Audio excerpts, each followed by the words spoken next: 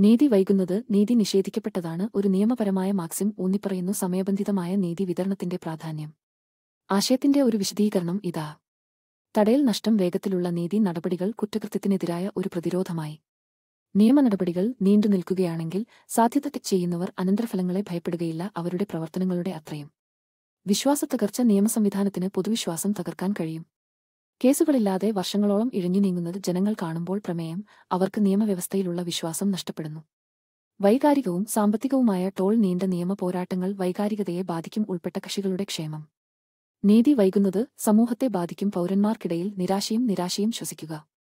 ഈ നിരാശ സിവിൽ പ്രകടമാകാം അശാന്തി അല്ലെങ്കിൽ വർദ്ധിച്ച കുറ്റകൃത്യങ്ങൾ സിവിൽ തർക്കങ്ങൾ ഭരണത്തിലെ കാര്യക്ഷമതയില്ലായ്മ നീണ്ടുനിൽക്കുന്ന നിയമപരമായ കേസുകൾ കാര്യക്ഷമതയില്ലായ്മയെ ഉയർത്തിക്കാട്ടുന്നു നിയമ നീതിന്യായ വ്യവസ്ഥയിൽ.